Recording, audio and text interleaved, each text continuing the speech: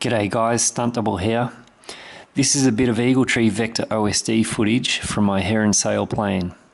The footage is from a recent flight down the coast near some big cliffs. I made up this vid to show what the Vector OSD looks like during a flight. I'm a huge fan of the Vector flight controllers. They are simple to set up, very easy to tune, and give you a reliable RTH. But I think the best thing about the Vector is how you can customize the OSD layout and use color graphics.